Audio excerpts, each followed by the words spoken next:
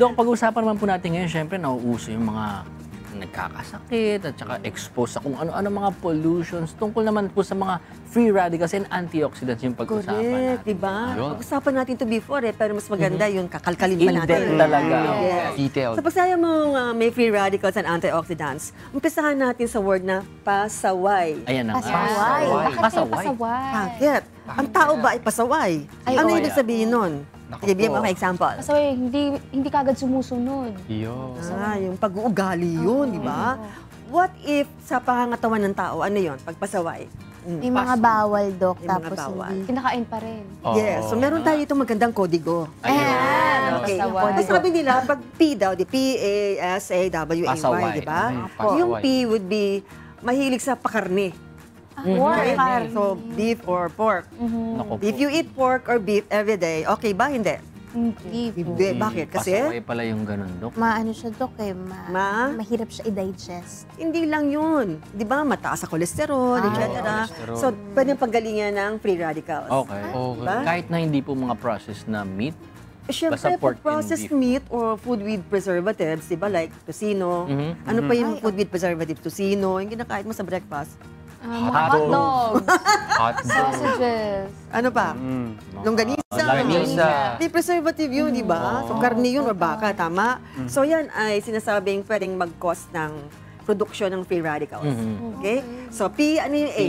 Sa pasaway. pa, ah, ako. A. Ikaw? Ako daw? Alat. Alat. Very good. So, alat. May kodigo tayo, di ba? Bawal yung mga alat, May Dok? may mga tao kasi na pag kumakain, kunyari sa bahay ka. Sobra naman. Tapos magkakamplain ka doon sa nagluto. Wala naman lasa to. Kulang ng asin. Tapos maglalagay ng asin sa gilid. Konti Patis. lang daw. Pati. Pati ba Ayun. yun? Yan, masarap din, Dok. Ako ang palasa. May mga seasoning, Dok. Mahilig ka ba? Pampalasa. Ayoko, Dok, na matabang, Patis, Dok. eh. toyo, maalat yun, di ba? Okay. Tama ba yun? Tama po. Hindi. Ay, hindi okay. mo. Sayang. Minsan lang, kapag wala talagang lasa. Moderation siguro. Pag walang lasa. Ah. Okay, kung sinasabi mo walang lasa, kailangan masarap, di ba? So, it, you are the victim of your tongue. Tama ba? Iyo. Meron ng ganun, Dok, no? Sinasabi nila meron na mataas masyado yung panlasa sa alat. Dahil ba yun sa, dahil mahilig siya sa maalat, kaya parang pati yung panlasa niya tumataas. Correct, okay, di ba? So, you are the victim of your tongue. Di ba tipong hindi ka makakain na hindi masarap? Opo, savory Biktima ka ng dapat. dila mo. Paano naman kung nasa ospital ka? Ayan. Di ba walang lasa? Ano yung mga Ayun. pagkain sa ospital? Eh, yun yung Yung tama. Alvin's. Wala lasa. Ayun yung tama. Ba't kasi mangot ka? Hindi masaya. Parang hindi mo carry ah. Sa PA, ano yung S? Yung S-I? Soft drink. Yun, soft Ay, drinks. buti na Soft lang. drinks, Lagi yes or naman no? talaga, Dok. Ako, Yes. Di ako Oo. ako mahilig. Yes, Hindi ako rin po ako nakakaulog. mahilig. Pero karamihan ng mga kasing edad ninyo. Pinampapalit sa tubig. Oh. Hindi na Parang nag-water. staple na, no? Yeah. Parang, Parang after meal. pagkakain, di ba? Lalo pagka mga, yan, ang pagkain, yung parang mga pang-boodle fight. Yes. Kailangan Automatic. Kailangan may So, soft drinks. drinks. Bakit ba nagsa-soft drinks? Para daw? Madighay yung Madighay. iba eh. For digestion Ay, daw. I like that. Okay. Yung mami ko dati, Mm. mami ko matanda na rin yun, no? Dati mahilig sa soft drinks yun. Mm mami, tama na ang soft drinks. Anak, kailangan kong mag-burp. Yan, oh. Ang soft drinks? Oo, kailangan mag-burp ako. Mm-hmm. Mami, stop it na. No, pinistop ko naman. Opo. Okay? So, maliban mo sa burping, no, hindi naman yun yung reason, is mataas ang Sugar. sugar content. Sugar. Okay? So, pagka-problema ka. So, habang bata pa, wag na. Mm-hmm. Okay? So, PAS, ano yung isang A? Alak. Kaya yan na. Hindi Ito talaga. Umiinom ka ba. Beverages. ng konti? Tubig lang po. Tubig lang din po ako. Tubig lang. What if lang. you are in an event tapos napainom? Paano yan? Iiwas. Hindi din ko eh. Hindi din.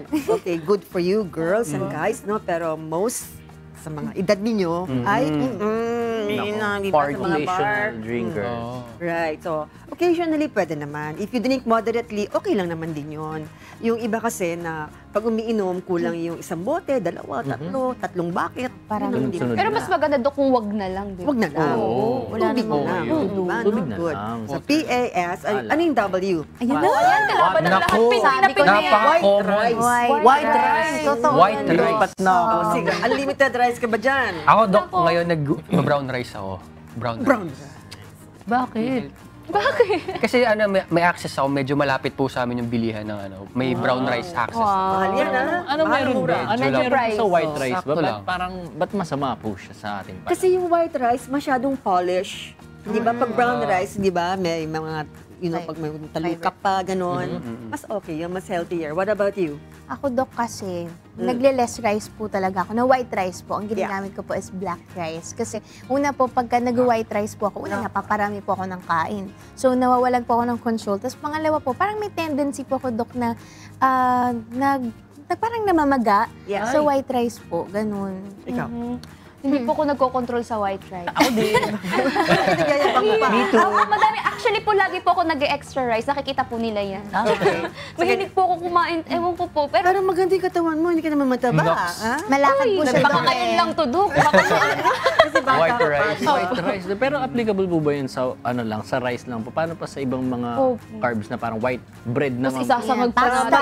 Okay. So anything white, pag sobra, hindi maganda. Okay. White rice, white bread, Anong... okay? Oh. Patatas. Pasta, Ay, talaga? Yes. So, Sobra. yung patatas kasi, di ba, may white potatoes. Meron bang sweet potatoes? Ano yun?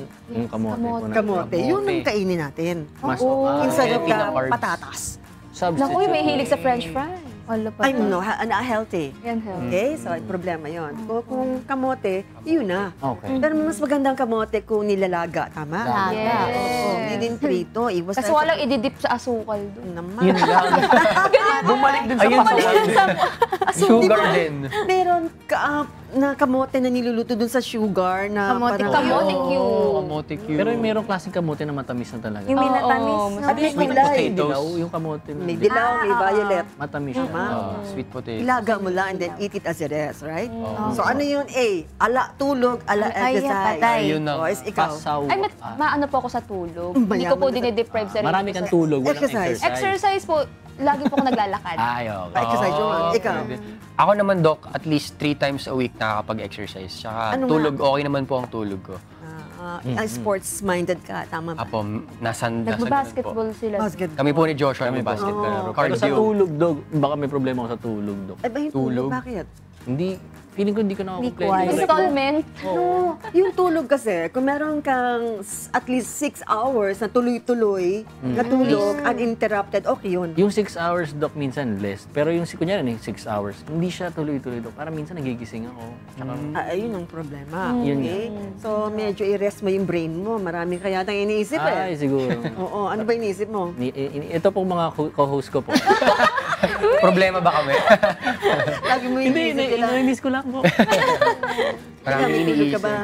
Meron Yan. naman, Dok, pero lagi pong hindi siya quality sleep. Ah. Ay, hindi. Why do you say walang quality? Kasi ano po, madalas marami po, marami pong ginagawa bago matulog, tapos nagpo-phone pa ako. Ayan. Pero busy ako po. Kailangan ng lahat yata. Eh, yun. eh, eh, eh, iwanan mo Kaya yung Dok, pwede, telepono. kaya, kaya Dok, pwede na ako pagalitan niyo po ako dyan sa ala tulog, ala.